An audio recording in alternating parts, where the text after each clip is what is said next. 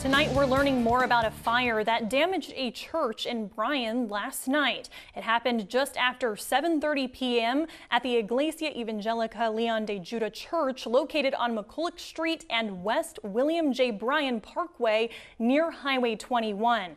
Donnie Tuggle was there last night and spoke with fire officials today. He joins us live outside of the church with the latest. Donnie? Yeah, Katie, I was here last night as firefighters worked to get that fire under control. If you take a look behind me, you can still see this hole in the wall. And if you take a look at the roof, you can still see some damage.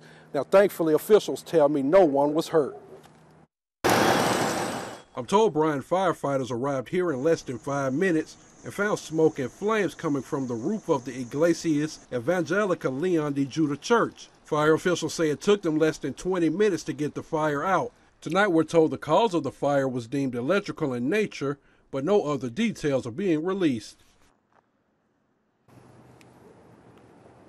Now, again, I'm told that no one was inside the church at the time of the fire and there were no reported injuries. I reached out to the church today for comment, but did not hear back.